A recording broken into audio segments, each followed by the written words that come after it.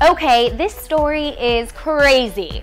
A full-time $10 an hour mom of two quit her day job to become a full-time $1,000 an hour Kate Middleton look-alike. Now, you're probably thinking, how similar can she really look? The answer is scary similar. Not even her daughter can tell the difference between a picture of Middleton and her mom, Heidi.